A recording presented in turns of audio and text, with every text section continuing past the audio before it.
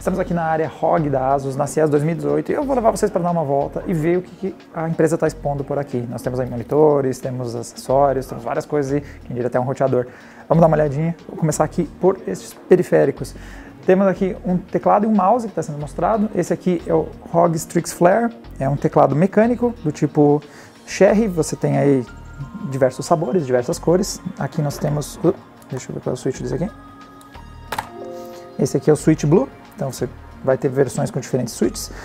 O design dele tem algumas coisas interessantes, então eles deslocaram todos os comandos multimídia para a esquerda, para você não ter que tirar mais a mão do mouse quando você for mexer no volume, pausar ou passar os seus vídeos. Tem esse encosto aqui para o seu pulso, que você pode usar ou não, se você quiser carregar somente ele. Fica bem mais compacto, sem o encaixe, sem esse encaixe. E ele tem essa detalhezinho do design aqui em cima que você pode trocar.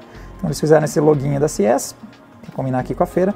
Por padrão vem o símbolozinho da linha Republic of Gamers, né, ROG, mas você vem com um que não tem nada impresso e você pode imprimir o que você quiser e assim você customiza o seu design. Logo ao lado dele nós temos aqui o Gladius 2 Origin, é, como vocês podem ver, muito LED RGB, ambos são compatíveis com o sistema Aura Sync. E alguns detalhes interessantes do design é que eles facilitaram a abertura aqui, não sei, que não tenho uma unha muito comprida, talvez não consiga puxar, mas você consegue puxar facilzinho aqui essas borrachinhas, você tem os quatro parafusos, você consegue abrir esse mouse e fazer a troca de switch sem necessidade de ficar mexendo em solda ou algo do tipo. Então quer dizer que você pode pegar esse mouse, se você quiser um switch com diferente, né, com resistência diferente, com, uma, com som diferente, você consegue fazer a troca do switch sem uma dificuldade muito grande, eles facilitam isso. E também uma boa pedida porque aumenta a durabilidade, porque já que esses cliques são muito da vida útil de um mouse. Esse switch estragar normalmente é quando o seu mouse morre. Então eles facilitam essa troca, você consegue estender aí a vida útil do seu mouse. Continuando logo aqui ao lado, nós temos um monitor. Eles estão mostrando a tecnologia Tobii. Então você vê que o jogo está reagindo, eu parei na frente dele, o jogo começou a se mexer, porque ele está com a tecnologia Tobii integrada nesse monitor e eu consigo controlar o jogo baseado em onde eu olho. Tem alguns games que já têm alguns recursos legais com a tecnologia Tobii.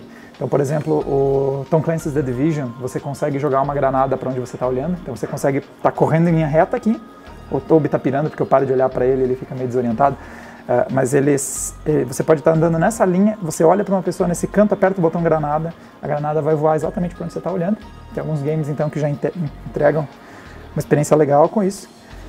Então, agora ele parou de reagir, antes eu estava conseguindo controlar até o, o, LED RGB do teclado, eles estão fazendo umas brincadeiras experimentais aqui. E você vê que ele vai reagindo se eu estou olhando ou não, vai ligando e desligando LEDs. Então, CS também tem um pouquinho desses protótipos para a gente dar uma olhadinha. Agora vamos dar uma olhada no que, com certeza, é um dos grandes destaques do lançamento aí da NVIDIA e também da ASUS, que é essa coisa enorme aqui atrás de mim. Esse aqui é o Big Format Gaming Display, ou como a NVIDIA adora dizer, o BFG, né, com referências gamers, uh, são monitores, eu não sei mais dizer, acho que isso é uma TV, não é mais um monitor. São displays muito grandes. Nós temos aqui um modelo com 65 polegadas. E olha, você pode fazer a lista de check do lado de especificações, porque ele é 65 polegadas, ele é G-Sync, ele é 4K, ele é 120 Hz, ele tem 1000 nits de luminescência e ele é HDR. Para mim tá bom. Eu não sei para vocês. Uh, como tem tecnologia Sync, vê que nós temos a tecnologia Sync, vê que nós temos um game rodando. Está rodando em 4K, então o hardware está sofrendo um pouquinho, mas vê que ali em tempo real nós temos a oscilação da taxa de quadros.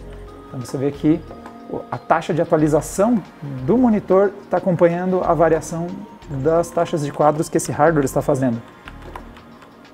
Então eu consigo ter um monitor que entrega tudo, alta luminescência, tamanho de display enorme, muito HDR, então nós temos aí tanto a parte escura quanto a parte clara com bastante contraste e um preço que a gente ainda nem sabe. Eles disseram que chega no fim do ano e não vai ser barato. Vocês sabem que isso aqui não vai ser barato. Mas legal de ver que nós agora temos enfim a tecnologia G5 num display maior. Eu chamaria isso de TV. Eu acho que a Asus agora oficialmente faz TVs, eles só não estão querendo assumir isso. Então, fim de ano, não sei se vem para o Brasil. E uma coisa interessante, como trabalha aí com a tecnologia G5, que tem uma parceria com a NVIDIA, ele tem basicamente um Shield dentro dele. Então você vê que nós temos um controlezinho aqui que lembra do Shield. E eu consigo apertar, e eu não sei qual é o botão que eu tenho que apertar, eu vou quebrar a demonstração dos caras. Mas uh, eu conseguiria abrir a interface do Shield aqui e mostrar para vocês se eu soubesse qual botão eu tenho que apertar, mostrar a interface do Shield para você ter acesso a YouTube, Netflix, conteúdo em 4K, esse tipo de coisa. Você já teria acesso aqui. Seguindo, vou mostrar, acho que talvez a minha solução favorita, porque é a mais simples de todo o stand. Logo aqui, nós temos o Bezel Free Kit. Vocês sabem que quando a gente tem um conjunto de quatro de, de, monitores um do lado do outro, o grande problema é que você fica com uma bela de uma linha dos lados. E essa é a solução mais simples que eu já vi, mas eu gostei do resultado. É basicamente um, um, um acrílico, não, muito flexível para ser um acrílico. Eles acharam um material aqui que quando você coloca na borda das telas, você consegue minimizar aquele efeito feioso que a borda faz no meio. Então, vou dar um restart aqui para a gente ver como fica a experiência. E o resultado é bom bastante para mim. Principalmente lembrando que, né, originalmente seria assim. Essa pessoa está cortada no meio. Eu acho que eu prefiro assim, que a pessoa, né? Eu estou convencido.